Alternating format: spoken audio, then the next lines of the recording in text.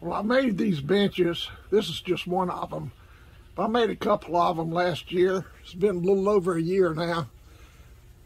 And they've been out in the weather. And I think I need to redo them.